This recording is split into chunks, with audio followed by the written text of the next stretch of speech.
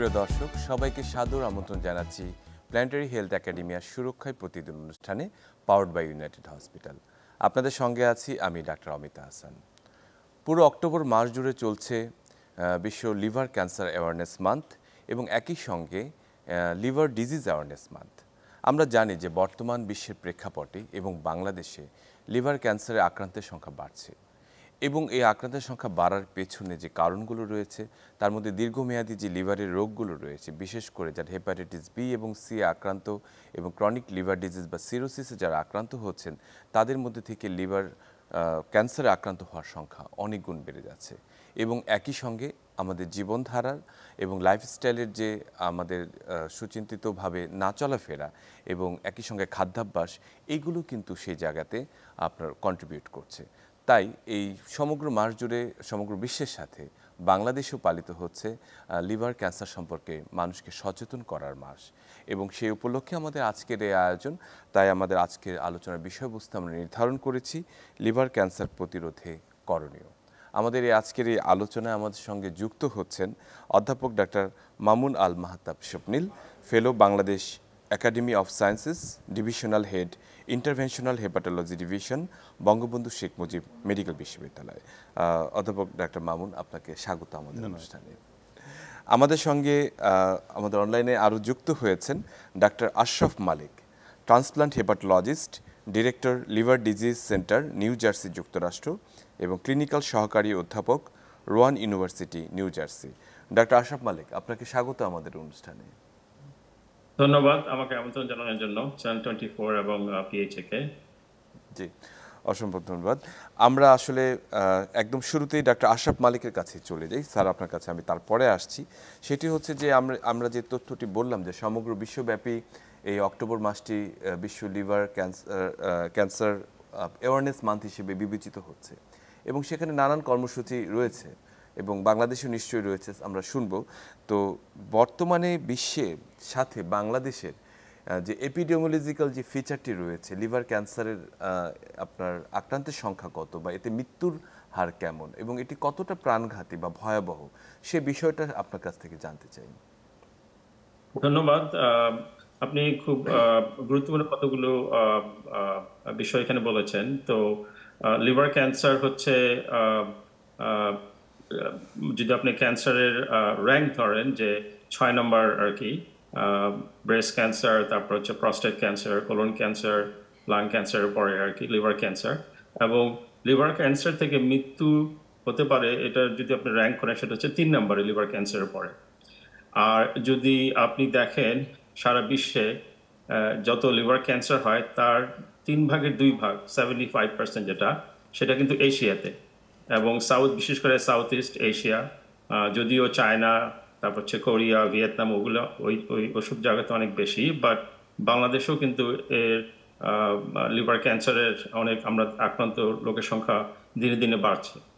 তো এই কারণে লিভার ক্যান্সার অ্যাওয়ারনেস মান্থ যেটা বলতে, যে সচেতনতা করার, জনগণকে সচেতন করার এই যে মাসটা, সেটা আসলে খুবই গুরুত্বপূর্ণ এবং আমরা জনগণকে সচেতন করতে পারবে কি কি করণীয় আছে। তো সেই বিষয় নিয়ে যে আজ মানে আজকে কথাগুলো বলব। তো এটা হচ্ছে মোটামুটি আর কি সারা বিশ্বে লিভার ক্যান্সারের যে ইপিডেমিওলজি বলতে যেটা বোঝায় যে কি পরিমাণ আপনার নয় লাখ দুই হাজার বিশ সালে একটা পরিসংখ্যান হয়েছে সেখানে দেখা গেছে যে সারা বিশ্বে নয় লাখ লোক লিভার ক্যান্সার আক্রান্ত। তার মধ্যে মানে আট লাখ তিরিশ হাজার হচ্ছে আপনার লোক মারা গেছে, লিভার ক্যান্সারে। তো আপনি চিন্তা করতে পারেন যেটা কীরকম প্রাণঘাতী হতে পারে। অবশ্যই। অসংখ্য ধন্যবাদ, ডাক্তার মালিক। আমরা, স্যার, আপনার কাছে চলে আসি একদম সরাসরি স্টুডিওতে। যে আসলে যেহেতু বিষয়টি প্রাণঘাতী একটি রোগ, লিভার ক্যান্সার আক্রান্ত হলে এর পরবর্তী যে সার্ভাইভাল রেটটি, সেটি কিন্তু অন্যান্য জায়গা থেকে কম। কিন্তু আসলে কারা এই রিস্কের মধ্যে আছে? আসলে কাদের জন্য এই সচেতনতা সবচেয়ে বেশি জরুরি? ধন্যবাদ। আমাদের একটা সমস্যা হচ্ছে যখন আমরা কথা বলতে বসি যে কোনো বিশেষজ্ঞরাই তখন যে তথ্যপাত্রগুলো দিই তাতে মানুষ একটু চিন্তিত হয়ে পারে তাহলে কি বাংলাদেশের জনসংখ্যার চেয়ে রোগীর সংখ্যা বেশি কিনা? তো বাস্তবতা কিন্তু অনেকটা তাই। বাংলাদেশে লিভার ক্যান্সারের এখন পর্যন্ত এক নম্বর কারণ আমরা বলছি হেপাটাইটিস বি ভাইরাসকে। এবং বাংলাদেশে প্রায় পাঁচ শতাংশ মানুষ হেপাটাইটিস বি ভাইরাসে আক্রান্ত। এখন এদের মধ্যে একটা গুরুত্বপূর্ণ অংশ একটা পর্যায়ে লিভার ক্যান্সার আক্রান্তার ঝুঁকিতে আছেন। এখন যে নতুন রোগটি, যার কথা আমরা নতুন করে খুব বেশি শুনছি, সেটা হচ্ছে ফ্যাটি লিভার ফ্যাট লিভার এখন হচ্ছে বাংলাদেশে chronic liver disease liver cirrhosis liver ক্যান্সারের দ্বিতীয় প্রধান কারণ। এবং বাংলাদেশে বিভিন্ন যে সমস্ত স্টাডিগুলো হচ্ছে, দেখা যাচ্ছে প্রায় ত্রিশ শতাংশ মানুষ এদেশে লিভারের চর্বি, অতিরিক্ত চর্বিতে আক্রান্ত তাদের ফ্যাটি লিভার আছে। এবং এই ফ্যাট লিভার যে বাংলাদেশের মানুষের বেশি, তার কারণও কতগুলো আছে। একটি হচ্ছে আমাদের যে জেনেটিক গঠন। আমাদের দেশের মানুষের অ্যাবডোমিনাল ফ্যাট বা শরীরের মধ্যাংশে চর্বি বেশি জমে, আমরা সাধারণত যে যত শুকনো সেখানে ছোটো একটা ভুঁড়ি থাকে লিভারের চর্বি বেশি জমে, এটা আমাদের জেনেটিক গঠন, আমরা ভাত বেশি খাই। এই অঞ্চলে মানুষের ডায়াবেটিস বেশি হয়। ভারত হচ্ছে পৃথিবীর সর্বোচ্চ সংখ্যক ডায়াবেটিসের আবাসস্থল। বাংলাদেশ হচ্ছে দশম স্থানে আছে শরীর থেকে। এই সবগুলোর সাথে ফ্যাট লিভারের যোগাযোগ আছে। ফলে আমাদের লিভারের চর্বি যন্ত্র বেশি, আমরা আক্রান্ত হচ্ছে বেশি। এই বহুবিধ কারণে কিন্তু বাংলাদেশে লিভার ক্যান্সারের ঝুঁকিটা অনেক বেশি। এবং ডক্টর আশরাফ আলী যেমনটি বলছেন বাংলাদেশ কিন্তু ব্যতিক্রম নয়। বাংলাদেশে এখন লিভার ক্যান্সার হচ্ছে ক্যান্সারজনিত মৃত্যুর ক্ষেত্রে তিন নম্বর জায়গায় আছে। তো কারা ঝুঁকিতে আছেন? এই মানুষগুলো ঝুঁকিতে আছেন। এবং কেন লিভার ক্যান্সারটা বেশি খারাপ? ধরুন কারও ফুসফুস ক্যান্সার হলো। তার ফুসফুসটা কিন্তু সুস্থ থাকে তিনি ক্যান্সারে আক্রান্ত হন। কারও কোলন ক্যান্সার হলো। অবশিষ্ট কোলন কিন্তু সুস্থ আছে কিন্তু একটা অংশে ক্যান্সার হয়েছে। তাতেই কিন্তু সেই রোগগুলো প্রাণঘাতী হয়ে যায়। লিভার ক্যান্সার একটা বাড়তি ঝঞ্ঝাট হচ্ছে। যে সুস্থ লিভারে সাধারণত ক্যান্সার হয় না। যার লিভারে ক্যান্সার হয় তার লিভারে সিরোসিস বলে একটি প্রাণঘাতী রোগ থাকে লিভারটা আগে থেকে অকেজ থাকে লিভারের কার্যক্ষমতা কমে আসে। তার উপরে মারার উপর খারাপ ঘাড়ের মতো ক্যান্সারটি হয়। তো যেখানে সিরোসিস ইটসেলফ মানুষকে পর্যদস্ত করে ফেলে সেখানে তার উপরে ক্যান্সার রোগটি হচ্ছে মানুষ আরও দূর খারাপ অবস্থায় থাকে। তো ফলে লিভার ক্যান্সার মৃত্যুর হারটাও বেশি। আর আরেকটি যেটি সর্বশেষ সমস্যা সেটি হচ্ছে যে লিভার রোগ লিভারের সহনশীলতা অসীম। ফলে লিভার অনেক দিন পর্যন্ত রোগ সহ্য করে তেমন কোনো লক্ষণ থাকে না বললেই চলে। প্রায়শই আমরা দেখি যে মানুষ লিভার সিরোসিসে আক্রান্ত হচ্ছে, টেরও পাননি। লিভারটা ফেল করার পর আমাদের পাশে ডিকম্পেন্সেট কপেন টের পাচ্ছেন। অনেক রোগী আছে যারা ক্যান্সার নিয়ে প্রথম আমাদের কাছে জানতে পারেন যে যে তার লিভার সিরোসিস লিভার ক্যান্সার হয়ে গেছে। তো ফলে অনেক অ্যাডভান্স রোগী আমরা পাই যেহেতু লোকের লক্ষণটা শুরুর দিকে থাকে না। এই নানাবিধ কারণে লিভার ক্যান্সারের সংখ্যা বাংলাদেশে বেশি, বাড়ছে এবং আমরা অ্যাডভান্স কেস পাই। অসংখ্য ধন্যবাদ স্যার, আমরা গুরুত্বপূর্ণ তো কিছু তথ্য পেলাম আপনার কাছ থেকে। আমি ডাক্তার আশরাফ মালিক আপনার কাছে ফিরে আসব। সেটি হচ্ছে যে স্যার যেটি বললেন কথা সূত্র ধরে যে, অনেক ক্ষেত্রে দেখা যায় যে আর্লি যে সিমটম নিয়ে পেশেন্টটা আসবে সেটি হয় না। লিভারের সহনীয় মাত্রা অনেক বেশি। তাহলে আসলে কোন কোন সিমটমগুলো বা সাইনগুলো আসলে লিভার ক্যান্সারের জন্য আমরা ডিমার্কেটেড সাইন হিসেবে ধরবো এবং আসলে কখন একজনকে রেগুলার মানে আর্লি ডিটেকশনের জন্য আমরা বিবেচনা করব যে কোন সিমটমগুলোকে আপনার প্রশ্নটা খুবই গুরুত্বপূর্ণ এবং প্রফেসর মাহতাব কতগুলি গুরুত্বপূর্ণ কথা বলেছেন, যেটা হচ্ছে প্রথম যেটা হচ্ছে যে যখন ক্যান্সার ধরা পড়ে তখন কিন্তু অন্যান্য যেসব ক্যান্সার আছে কলন ক্যান্সার বলেন বা প্রস্টেট ক্যান্সার বলেন, তখন কিন্তু প্রস্টেটের বা কোলন ক্যান্সারের কোলনটা কিন্তু অন্য আহ, জায়গাগুলো মানে ওখানে কোনো রোগ থাকে না। নর্মাল কোলনের আপনার কোলন ক্যান্সারটা হয়। কিন্তু লিভার ক্যান্সারের সিরোসিসের কারণে হয়। তো যেহেতু সিরোসিসটা অনেক সময় আর্লি মানে প্রথম দিকে কোনো সিমটম থাকে না সেই জন্য এটা মানে আর্লি ডিটেকশন করা খুব টাফ হয়।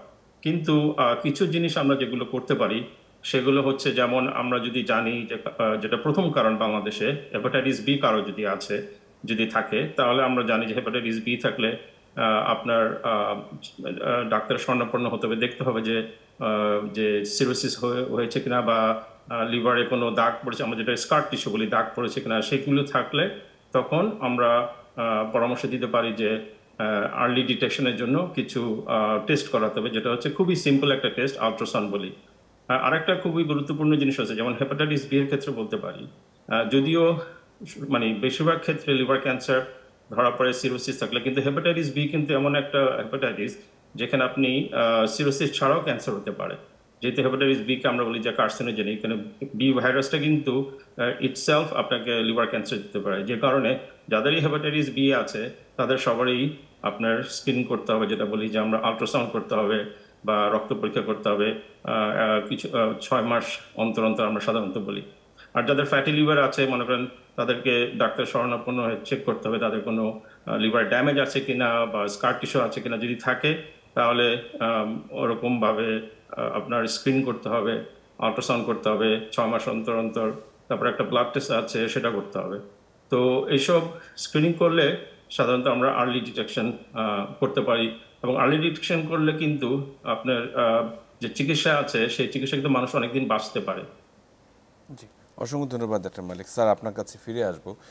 উনি যে কথা সূত্র ধরেই বলব যে আসলে আমাদের দেশে যে সাধারণত লিভারের আর্লি সিমটম বা কী সমস্যা নিয়ে আপনাদের কাছে আসে যে বেশিরভাগ ক্ষেত্রে আমরা দেখি যে একটা সাইন জন্ডিস মানে খেতে পারে না অরুচি এই বিষয়গুলো কিন্তু অনেকাংশেই মানে লিভারের স্পেসিফিক সিমটম বা সাইন হিসেবে উঠে আসে। এর সাথে স্যার আর কি কিছু যুক্ত করতে চান কিনা? আমাদের এখানে ম্যাক্সিমাম লিভার ডিজিজ ডায়াগনোস হচ্ছে ইনসিডেন্টালি হয়তো একজন মানুষ একটি আল্ট্রাসাউন্ড করতে গেছেন কোনো কারণে তিনি জানতে পারলেন তার লিভারে চর্বি আছে। বা হয়তো কেউ একজন বিদেশ যাবে বা কাউকে রক্তদান করতে গেলেন টিকা নিতে গেলেন বা কারও পরিবারে বি ভাইরাস আক্রান্ত একজন রোগী শনাক্ত হলেন তারপর তিনি সচেতন পরীক্ষা করতেই জানতে পারলেন তার বি ভাইরাস আছে। তো এবং তারপর যখন আর ঘাটাঘাটি করা হয়, তখন তারা জানতে পারেন যে কারও কারও লিভার সিরোসিস আছে, কারও কারও ক্যান্সার হয়ে গেছে। তো একদম শুরুর দিকে যদি বলছেন যে তেমন কোনো সুনির্দিষ্ট লক্ষণ থাকে না বললেই চলে। লক্ষণ বলতে পেটের ডান দিকে, উপর দিকে একটু ব্যথা, ভোতা ব্যথা একটু অবসাদগ্রস্ততা পায়খানার অভ্যাসটা অনিয়মিত থাকা, এরকম সিমটম আমরা প্রায় দেখি। তবে এটি তার অনেকগুলো রোগের সাথে সম্পৃক্ত বলে এই রোগ, এই সিমটম দেখে কিন্তু লিভার সিরোসিসকে ডায়াগনোস করা বা লিভার ক্যান্সার ডায়াগনোস করা খুব কঠিন। বেশিরভাগ রোগী যখন আসছেন আমরা বলছি যে তাদের অ্যাডভান্স ডিজিজ থাকে সেক্ষেত্রে আপনি যদি বলছেন জন্ডিস থাকতে পারে অনেকের পেটে পানি চলে আসে অনেকের কথাবার্তা আচার আচরণ এলোমেলো হয়ে যায় যাকে আমরা এনকেফেলোপ্যাথি বলছি। অনেকে আসছেন যাদের হয়তো রক্তবমি হয়েছে বা হয়েছিল এরকম ইতিহাস পাওয়া যাচ্ছে। এবং তখন যেটি নিয়ে ঘাটাঘাটি করা শুরু হলো পরীক্ষা করা শুরু হলো দেখা গেলো যে কারও হয়তো লিভার সিরোসিস কারও লিভার ফেইলিয়ার কারও ক্যান্সার পর্যন্ত চলে গেছে। রোগীরা এইভাবেই সাধারণত শনাক্ত হচ্ছেন। একটি, একটা। এবং একই সঙ্গে আপনার কাছে আরেকটি প্রসঙ্গে আসি যে অন্যান্য বডির অন্যান্য অংশে যখন ক্যান্সার আক্রান্ত হয়, তার প্রধানতম একটি জায়গা হচ্ছে যেটা সেকেন্ড মেটাস্টিসিস একটি জায়গা হচ্ছে লিভার সেক্ষেত্রে কিন্তু দেখা যাচ্ছে আলট্রাসাউন্ড বা সিটি স্ক্যান যেটি হোক না কেন প্রাইমারি অনেক সময় প্রাইমারি সাইটটি খুঁজে পাওয়া যায় না, কিন্তু লিভারের জায়গাটি ঠিকই খুঁজে পাওয়া যায়।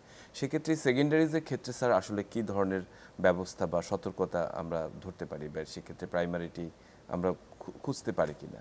আমরা তো খোঁজার চেষ্টা করি এবং আমরা প্রায়শই যেমন কোলন থেকে কথা কথা বলছি কোলন থেকে প্রায় লিভারে রোগ ছড়াচ্ছে। বাংলাদেশে প্রচুর ব্রেস্ট ক্যান্সারের রোগী আছে প্রচুর পাকস্থলীর ক্যান্সারের রোগী আছে ফুসফুসের ক্যান্সারের রোগী আছে সবগুলো কিন্তু লিভারে ছড়ায়। ফলে সেকেন্ডারি লিভার ক্যান্সার বা অন্য কোনোখানে ক্যান্সারের কারণে তারপর লিভারে ক্যান্সার পাওয়া যাচ্ছে এমনটি অনেক। এবং এটি অনেক সময় ডায়াগনোসিসের ক্ষেত্রে চ্যালেঞ্জ তৈরি করে যেটি প্রাইমারি লিভার ক্যান্সার না সেকেন্ডারি লিভার ক্যান্সার অর্থাৎ ক্যান্সার উৎপত্তি লিভারে না অন্য কোনো লিভারে ছড়ালো সে নিয়েও পরীক্ষা নিরীক্ষা করে বের করতে হয়। তবে এখন বাংলাদেশে মোটামুটি যে ধরনের ডায়াগনস্টিক সুবিধা অ্যাভেলেবেল হয়েছে এবং সেটি যেভাবে দেশের প্রান্তিক অঞ্চলে ছড়িয়ে পড়েছে তাতে একটা সার্টেন পার্সেন্টেজ রোগীকে আপনি কোনোভাবে শনাক্ত করতে পারবেন না। কিন্তু আমার কাছে মনে হয় যে আমরা একটা পর্যায় পর্যন্ত পৌঁছাতে পেরেছি যে সেটুকু করা যায়। আমাদের জন্য ডায়াগনোসিসটা একটা চ্যালেঞ্জ তার চেয়ে বড় চ্যালেঞ্জ হচ্ছে আর্লি ডায়াগনোসিস যেই সময় রোগীরা আসলে আসে ডক্টর আশরাফ যেমনটি বলছেন যে লিভার ক্যান্সার কিন্তু আট দশটি ক্যান্সারের মতো না। এর এটি যেমন আমরা বলছি যে খুব প্রাণঘাতী একটি ক্যান্সার একইভাবে আশরাফ যেমনটি বলছেন যদি আপনি আগে শনাক্ত করতে পারেন রোগীকে আপনি সুস্থ করে ফেলতে পারবেন। এবং সেসব চিকিৎসা পদ্ধতি বাংলাদেশেও আছে। সমস্যা হচ্ছে যে এত পরে রোগীরা আসছে যে সেসব চিকিৎসা পদ্ধতি কাজে লাগানোর সুযোগ থাকেই না। অধিকাংশ কিছু কারও সুযোগ থাকে না। আমি একটু শেষ করে দিচ্ছি। আমাদের যে, আমাদের তথ্যপত্র কম থাকে, তারপর যতটুকু আছে, আমরা দেখি যে বাংলাদেশের দশ শতাংশ মাত্র রোগী যখন আমাদের কাছে আসেন লিভার ক্যান্সার তাদেরকে সুস্থ করা সম্ভব। আর প্রায় চল্লিশ শতাংশ মতো আমরা হয়তো কিছু টুকটাক চিকিৎসা করতে পারি। পঞ্চাশ থেকে ষাট শতাংশ রোগীর ক্ষেত্রে আমাদের কিচ্ছু করার থাকে না। আমরা খালি বলি যে আপনার লিভার ক্যান্সার হয়েছে, আমরা হেল্পলেস বাসায় যান আল্লাহ করুন। অসংখ্য ধন্যবাদ, স্যার। আমি ডাক্তার আশরাফ মালিক আপনার কাছে ফিরে আসব যে, স্যার, যেটি বললেন সর্বশেষে যে, আসলে অ্যাডভান্স স্টেজে যখন আসে, তখন আসলে করণীয় কিছু নেই। যে আর্লি স্ক্রিনিং বিশেষ করে যে, আপনাদের প্রাইমারি হেলথ কেয়ার লেভেলে যে আর্লি স্ক্রিনিং ফেসটি রয়েছে, যে, কাদেরকে আসলে তারা পিক করবে যে তাদেরকে স্ক্রিনে পাঠাবে এবং কতদিন পর পর সেটি করবে এবং কখন একজন হেপাটোলজিস্টের কাছে তার রেফার করবে। এই প্রসেসটি নিয়ে যদি যুক্তরাষ্ট্রে আপনি যেখানে আছেন সে বিষয়টি যদি একটু বলেন আমাদেরকে। আমি প্রথমে শুরু করতে চাই যে স্ক্রিনিং আমরা কেন করি? স্ক্রিনিং করার প্রধান কারণ হচ্ছে যাতে আমরা রোগটা যে কোনো রোগ যে বিশেষ করে ক্যান্সার আমরা আর্লি ডিটেকশন করতে পারি। যদি আমরা আর্লি ডিটেকশন করতে পারি তাহলে আপনার চিকিৎসার মাধ্যমে ক্যান্সারটা পুরোপুরি নিরাময় করা যাবে। তো যেহেতু লিভার ক্যান্সার অনেকগুলো ক্যান্সারের মধ্যে লিভার ক্যান্সারের আর্লি ডিটেকশনের একটা আম, আম- আমরা জানি আর্লি ডিটেকশন করলে আমরা ক্যান্সার ট্রিটমেন্ট দিয়ে আমরা এটাকে পুরোপুরি সারিয়ে তুলতে পারি। সেজন্য যেটা প্রথম জিনিস হচ্ছে যে কাকে কাকে করব? হেপাটাইটিস বি যাদের আছে আমরা যুক্তরাষ্ট্রে হেপাটাইটিস বি যদিও কম বাট হেপাটাইটিস বি আমি পার্সোনালি এবং অনেক আমার সাথে সাথে অনেক যারা এক্সপার্ট আছেন, তারা সব হেপাটাইটিস বি বিশেষ করে যারা সাউথ ইস্ট এশিয়া থেকে আসেন চায়না তারপর হচ্ছে আপনার ভিয়েতনাম তাদেরকে আমরা সবাই প্রতি ছয় মাস অন্তর অন্তর আল্ট্রাসাউন্ড করি আর একটা ব্লাড টেস্ট বা রক্ত পরীক্ষা করি, সেটাকে বলি এএফপি আর যাদের ক্রনিক হেপাটাইটিস সি এর সাথে সিরোসিস আছে, তাদেরকে করি ফ্যাটি লিভারের সাথে সিরোসিস আছে, তাদেরকে করি। আর সিরোসিস এখানে তো আমেরিকায় অ্যালকোহলের কারণে অনেক সিরোসিস হয়। তো সেই যাদের সিরোসিস হয় অ্যালকোহল থেকে তাদের করি এবং সিরোসিস আরও অনেক কারণে যাদের হয় যে কোনো সিরোসিস পেশেন্টের আপনার এই স্ক্রিনিংটা করতে হবে আল্ট্রাসাউন্ড করতে হবে, প্রতি ছয় মাস অন্তর অন্তর সাথে এএফপি করতে হবে বা ব্লাড যেটা রক্ত পরীক্ষা বলছি।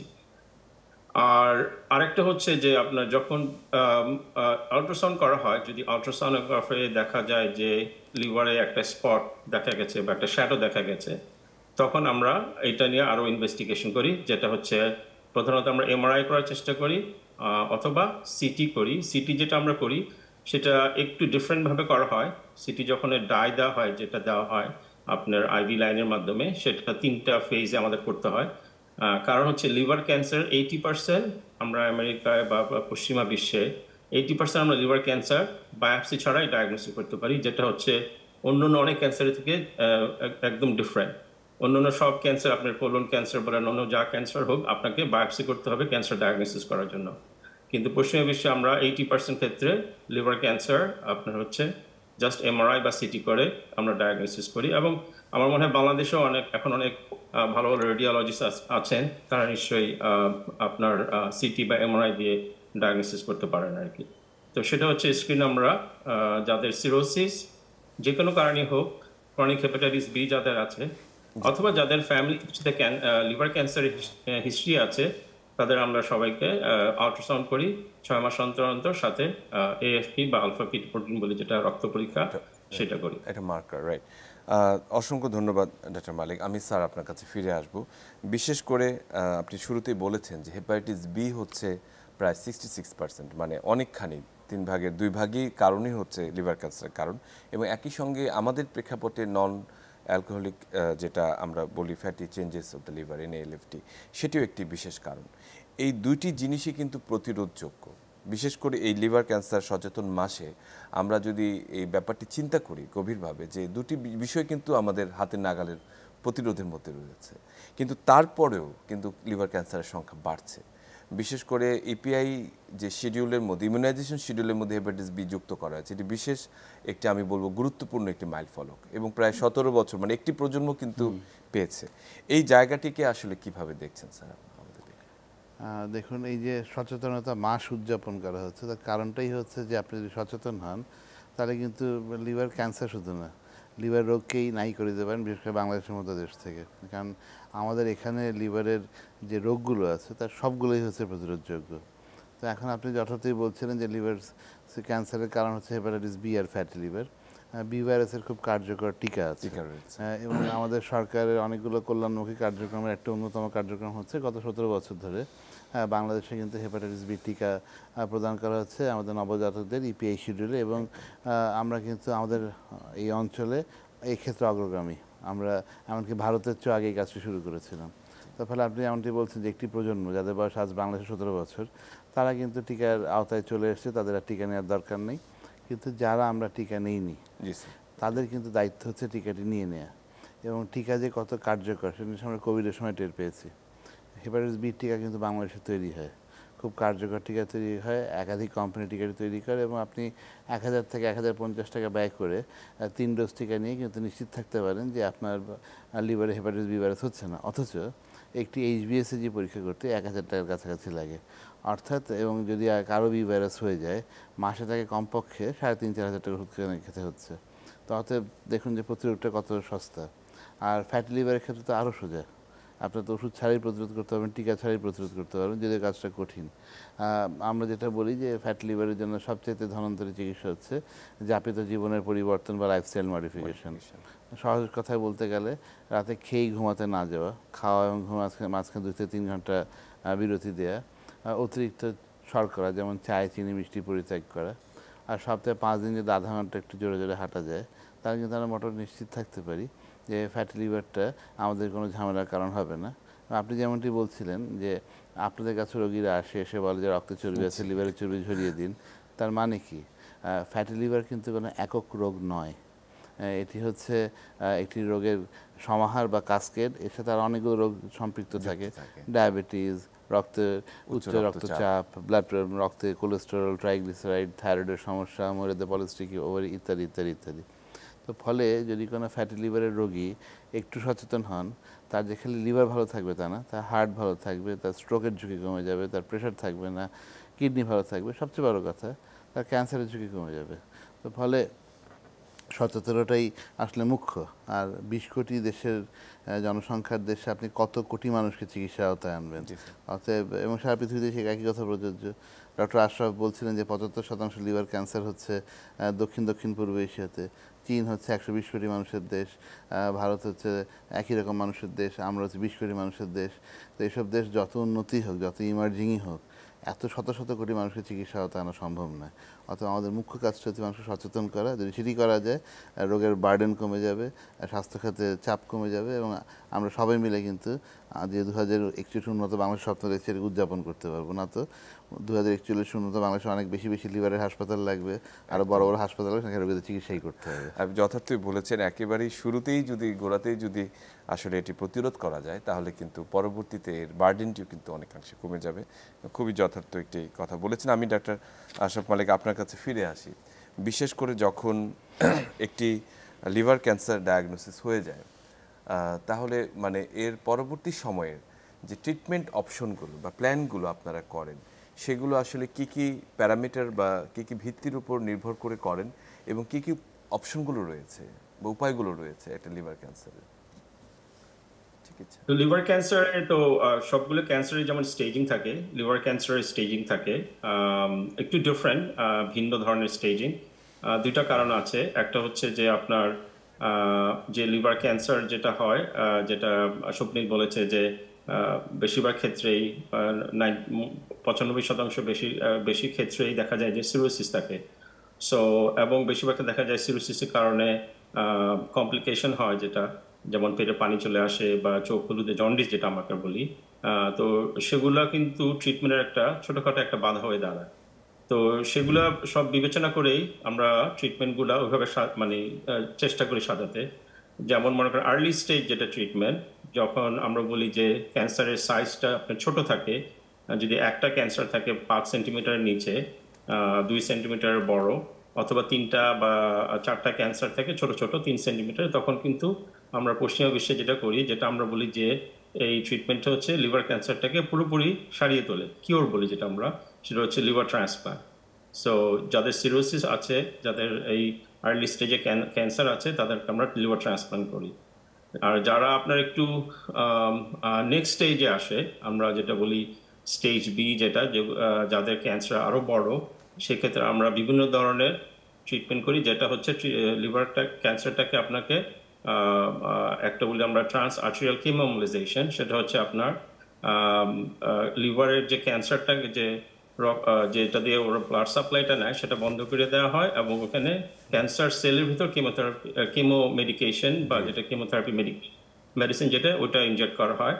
অথবা লিভার ক্যান্সারকে আমরা যেটা বলি অ্যাবলেশন ফ্রিজিং করা বা পুড়িয়ে দেওয়া সেটা সার্জারির মাধ্যমে করা যায়। আমাদের এখানে ইন্টারভেনশন রেডিওলজি আছে তারা করতে পারেন। আর আরেকটা হচ্ছে সেটা হচ্ছে আমরা বলি রেডিয়ামলাইজেশন সেটা হচ্ছে ঠিক রেডিয়েশন না এখানে রেডিয়েশন ছোট ছোট পুঁতির মতো দানার মতো রেডিয়েশন যেগুলো মানে সেগুলা ক্যান্সার সেলের ভিতর ঢুকিয়ে দেওয়া হয়। তো সেটার কারণে ক্যান্সারটা সেলটা আস্তে আস্তে ওটা ডিস্ট্রয় করে ফেলে। এই হচ্ছে মোটামুটি স্ট্যান্ডার্ড ট্রিটমেন্ট করি আমরা পশ্চিমা বিশ্বে। রিসেন্টলি ইদানিং আমাদের রেডিয়েশন একটা ট্রিটমেন্ট হচ্ছে সেটাও কিন্তু খুব পপুলার হয়ে যাচ্ছে রেডিয়েশন করা হয়। আর যারা খুব বেশি অ্যাডভান্স স্টেজে আসে তাদেরকে আমরা এখন তো হচ্ছে ইমিউনোথেরাপি দেওয়া হয়। বিভিন্ন ধরনের ইমিউনোথেরাপি হ্যাঁ পাঁচ ছয় বছর আসেন সেটা দেওয়া হয়। আমি স্যার আপনার কাছে ফিরে আসি। বিশেষ করে যে ডক্টর আশরাফ মালিকের কথা সূত্র ধরেই বলছি যে ইন্টারভেনশনাল হেপাটোলজির একটি ভূমিকা রয়েছে। বিশেষ করে যদি ডিটেকশনের ক্ষেত্রে এবং পরবর্তী চিকিৎসার ক্ষেত্রে। এবং আমরা অত্যন্ত আনন্দিত বা আশার বিষয় হচ্ছে যে বঙ্গবন্ধু শেখ মুজিব মেডিকেল বিশ্ববিদ্যালয়ে ইন্টারন্যাশনাল হেপাটোলজি বিভাগটি চালু হয়েছে এবং তার ডিভিশনাল হেড হিসেবে আপনি কাজ করছেন।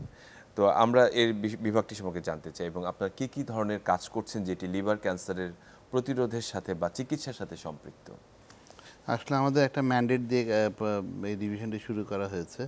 আমরা লিভারের নানা ধরনের ইন্টারভেনশনগুলো করছি, যদি সংক্ষেপে বলি।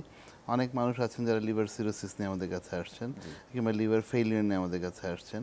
আর তাদের জন্য ট্রান্সপ্লান্ট হচ্ছে একটি অপরিহার্য অনুষঙ্গ।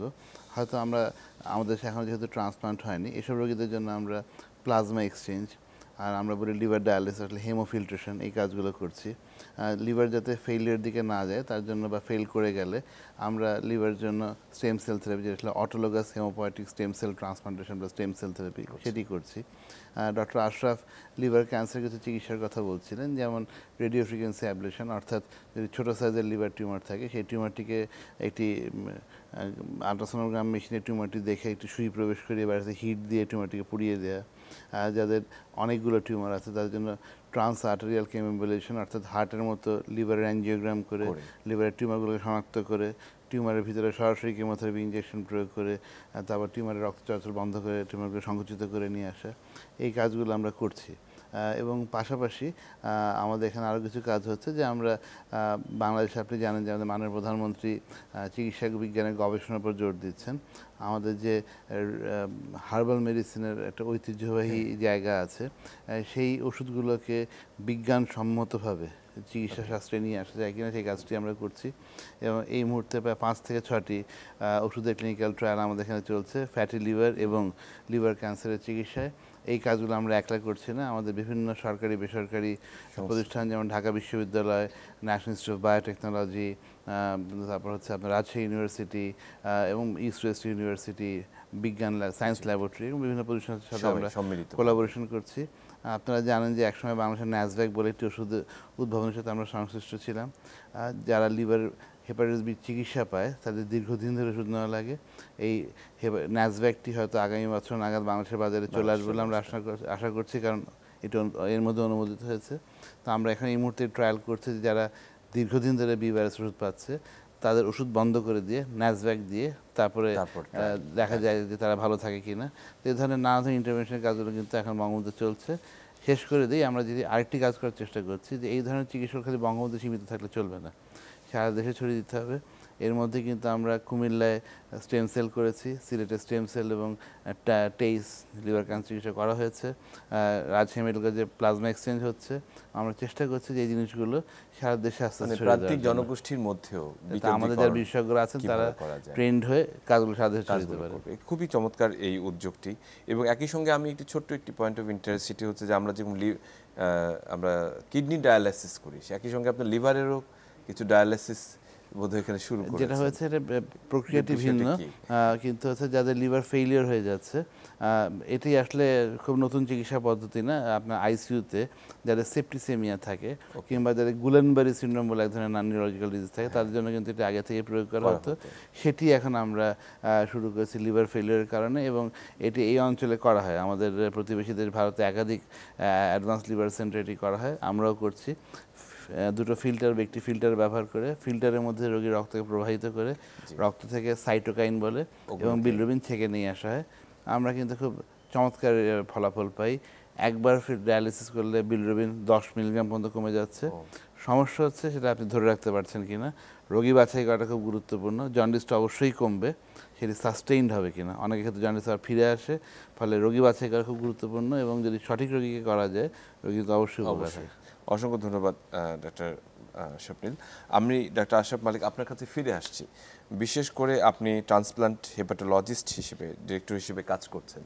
লিভার ট্রান্সপ্লান্ট একটি অনেকের কাছে একটা আশার আলো। বলা যায় যে জীবনের লিভারে যারা দীর্ঘমেয়াদী লিভার ডিজিজে আক্রান্ত বা ক্যান্সার আক্রান্ত, তাদের জন্য একটি স্বপ্নের জায়গা। তো সেই লিভার ট্রান্সপ্লান্টের অ্যাপ্রোপ্রিয়েটনেস কতখানি? মানে আসলে এটা কতখানি গ্রহণযোগ্যতা রয়েছে? এবং বাংলাদেশের প্রেক্ষাপটে আসলে আমরা শুনেছি যে দুটি সেন্টারে এটির চেষ্টা চলছে। যে পুরো টিমটি নিয়ে যদি একটু বলেন যে আর কি কি সাপোর্ট আসলে প্রয়োজন লিভার ট্রান্সপ্লান্টের জন্য? লিভার ট্রান্সপ্লান্ট হচ্ছে কতগুলো জিনিস আমি এটার একটু পিছনের ব্যাকগ্রাউন্ড একটু বলতে চাই। যেটা একটা হচ্ছে যে আপনার লিভার ট্রান্সপ্লান্ট যেমন হচ্ছে আপনার যদি কেউ যদি আহ, তার লিভারটা কাউকে দান করতে চায় মারার পরে অথবা যারা জীবিত আছেন তারা যদি তাদের মানে একটা অংশ যদি দান করতে চান তাদের কিন্তু শুধু ব্লাড গ্রুপ ম্যাচ করলেই হয়। মনে করেন যে কারও যদি এ থাকে বি এ বি থাকে অথবা ও থাকে যাকে দিবে তার যদি সেম ব্লাড গ্রুপ অথবা আহ, যাদের এ বি আছে যারা ও তারা যদি তারাও দিতে পারে ডোনার হিসেবে। তো এটা হচ্ছে প্রথম জিনিস। দ্বিতীয় জিনিস হচ্ছে লিভার আমরা যেটা বলি যে ইমিউনোলজিক্যালি প্রিভিলেজ অর্গান তার মানে হচ্ছে লিভার যখন একজনের শরীর লিভার প্রতিস্থাপন করা হয়, তখন কিন্তু আমাদের শরীরটা লিভারকে খুব সহজেই এটাকে শরীরের সাথে মানায় না যে কারণে লিভার যাদের ট্রান্সপ্লান্ট তারা কিন্তু অনেক দিন বাঁচতে পারেন। আমার এরকম পেশেন্ট আছে যারা পঁচিশ বছর, তিরিশ বছর বেঁচে আছেন লিভার ট্রান্সপ্লান্ট হওয়ার পরে। তো সেটা হচ্ছে আরেকটা আরেকটা অ্যাডভান্টেজ হচ্ছে লিভার ট্রান্সপ্লান্ট যে আমাদের শরীরের সাথে খুব তাড়াতাড়ি মিশে যায় যেটা কিডনি বলেন লাং বলেন সেটা সাধারণত অত সহজে হয় না সাধারণত সেটা রিজেকশন হয়। তো বাংলাদেশে আমি প্রেক্ষাপটে যেটা বলতে চাই যে আমি আমার একটা স্বপ্ন সেটা হচ্ছে বাংলাদেশে আমি দেখতে চাই এবং আমি সর্বতভাবে সাহায্য করতে ইচ্ছুক যদি লিভার ট্রান্সপ্লান্ট শুরু হয়। কারণ বাংলাদেশের মানুষ আমি জানি অনেক ইন্ডিয়াতে যাচ্ছে সিঙ্গাপুরে যাচ্ছে ট্রান্সপ্লান্ট করার জন্য। তো এটার কাঠামো যদি তৈরি করতে হয় কিছু জিনিস হচ্ছে একটা হচ্ছে যে আপনার একটা এক ধরনের অর্গানাইজেশন করতে হবে যেখানে যারা এটাকে পুরোটাকে দেখাশোনা করবে যে মেকশিওর করবে যে যেখানে হচ্ছে ঠিকভাবে হচ্ছে কি না প্রতিনিয়ত এটা মনিটরিং করতে হবে এক নম্বর। দুই নম্বর হচ্ছে যেই হসপিটালে হবে সেই হসপিটালে হেপাটোলজিস্ট তো একজন থাকবে সার্জন থাকতে হবে অ্যানেস্থিসিয়া যাদের ট্রান্সপ্লান্টের এক্সপিরিয়েন্সে তাদের থাকতে হবে কার্ডিওলজিস্ট থাকতে হবে। কারণ হচ্ছে যখন ট্রান্সপ্লান্টের আগে আমরা কিন্তু মেকশিওর করি যে যাকে ট্রান্সপ্লান্ট করা হবে সেই পার্সনটা যেহেতু এমনি তো লিভার ফেলিওর কারণে যার লিভার ফেলিওর হয়েছে সে তো অলরেডি খুব সিক থাকে তো তা আমাদেরকে দেখতে হবে। তাদের হার্ট ঠিক আছে লাং ঠিক আছে মেকশিওর করতে হবে। তাদের স্ক্রিনিং কোলোনিক ক্যান্সার স্ক্রিন করা হয়েছে ব্রেস্ট ক্যান্সারে অনেক টেস্ট করতে হয় আমাদের আর কি। তো হার্টে ডাক্তার থাকতে হবে। অনেক সাপোর্ট আলাদা সাপোর্ট থাকতে হবে। এবং আমাদের সাইকোলজিস্ট থাকতে হবে। কারণ একটা আমার শরীর একজনের শরীর যখন লিভার প্রতিস্থাপন করা হয় তখন একটা অঙ্গ একটা প্রতিস্থাপন করা হলো। তো অনেক সময় একটা মানসিক একটা চেঞ্জ আসে। তো সেই কারণে একটা সাইকেট্রিস্টে থাকতে হবে। তো মোটামুটি এটা হচ্ছে মানে ব্রিফলি যে একটা সেন্টার করার জন্য এগুলো লাগবে। যে অসংখ্য ধন্যবাদ ডাক্তার মালিক আমাদেরকে একটি সুন্দরভাবে আপনি আলোকপাত করেছেন। আমরা একেবারে শেষ পর্যায়ে ডাক্তার মামুন আমরা স্যার আপনার কাছে জানতে চাচ্ছি বিশেষ করে যারা ক্রনিক লিভার ডিজিজ বা দীর্ঘমেয়াদী লিভারের রোগে এবং সিরোসিসে আক্রান্ত বা ক্যান্সার তাদের যে সামাজিক যে চ্যালেঞ্জটি রয়েছে, তারা দেখা যাচ্ছে হেপাটাইটিস বি পজিটিভ হলো, তারা তাদের জবটি হারাচ্ছেন, কোনো জায়গায় রিক্রুট হতে পারছেন না। এবং সামাজিকভাবেও তারা দেখা যাচ্ছে যে প্রতিনিয়ত হাসপাতালের ফ্রিকোয়েন্সি বাড়ছে অ্যাসাইটিস হচ্ছে। এই যে একটা তার জীবনধারায় যে একটা বিপর্যয় নেমে আসলো, সেই ব্যাপারটি কীভাবে আসলে মোকাবেলা করা যায়? এক্ষেত্রেও কিন্তু এই সচেতনতাটাই অত্যন্ত গুরুত্বপূর্ণ। কারণ আমরা কিন্তু দেখছি যে এবং দেখি হয়তো বাসায় মার হেপাটাইটিস বি আছে। তার জন্য আলাদা রান্নার ব্যবস্থা তার জন্য আলাদা খাবার ব্যবস্থা এসব করা হচ্ছে। অথচ কোভিডের সময় আমরা সে কাজটি করিনি। অতএব আমরা খালি যে প্রতিরোধটা বলতে হবে না একটা রোগ কীভাবে ছড়ায় কীভাবে ছড়ায় না সেই বিষয়গুলো সম্বন্ধে একটা সম্যক ধারণা তৈরি করা অত্যন্ত প্রয়োজন। এছাড়া এই ট্যাবুগুলো থেকে বেরিয়ে আসা যাবে না। প্রচুর অপচিকিৎসা কুচিকিৎসা আমাদের দেশে হয়। এই কবিরাজি বনাজি জন্ডিস মনে করে সকল জন্ডিস ক্যান্সার জনিত জন্ডিসকেও মালা পরিয়ে চিকিৎসা করা। অনেক লোক কিন্তু সুস্থ হওয়ার সুযোগ থেকে বঞ্চিত। এগুলো খুব কেয়ারফুলি হ্যান্ডেল করা অসংখ্য ধন্যবাদ স্যার আমরা একেবারেই শেষ পর্যায়ে এই চমৎকার তথ্যটি আমাদের দেওয়ার জন্য। অসংখ্য ধন্যবাদ ডাক্তার আশরাফ মালিক আমাদের সঙ্গে থাকার জন্য। সুপ্রিয় দর্শক আমরা একেবারেই শেষ পর্যায়ে আমরা এই বিশ্ব লিভার ক্যান্সার অ্যাওয়ারনেস মান্থে আমরা সবাইকে বলতে চাই আজকের যে গুরুত্বপূর্ণ আলোচনা এবং তথ্যগুলো আমরা পেলাম, সেগুলো আমরা আমাদের জীবনে কাজে লাগাবো এবং সবসময় প্রতিরোধ প্রতিকারের চেয়ে উত্তম। কাজে আপনার লিভারকে সুস্থ রাখুন, আপনি সুস্থ থাকুন এবং যেহেতু লিভার আমাদের জীবনের, আমাদের অঙ্গের খুব গুরুত্বপূর্ণ বিষয়, বিপাকীয় কার্যক্রম সম্পূর্ণ পরিচালনা করে। কাজে এটিকে সুস্থ রাখা একেবারেই একান্ত জরুরি। কাজে আমরা শেষ, আমরা সবার সুস্থতা কামনা করি, সবাই ভালো থাকবেন, সচেতন থাকবেন।